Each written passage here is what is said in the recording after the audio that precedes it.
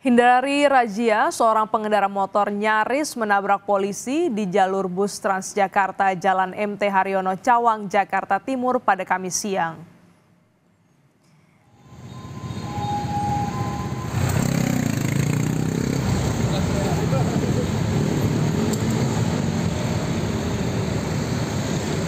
Pengendara motor ini sengaja berhenti di depan bus Transjakarta setelah melihat petugas gabungan menggelar razia Patu Jaya. Sempat mengambil ancang-ancang, pengendara ini tiba-tiba melaju dengan kecepatan tinggi dan menerabas barisan hingga nyaris menabrak seorang petugas. Puluhan pengendara roda 2 dan roda 4 dikenakan sanksi denda dengan besaran maksimal Rp500.000 karena melintas di jalur bus Transjakarta.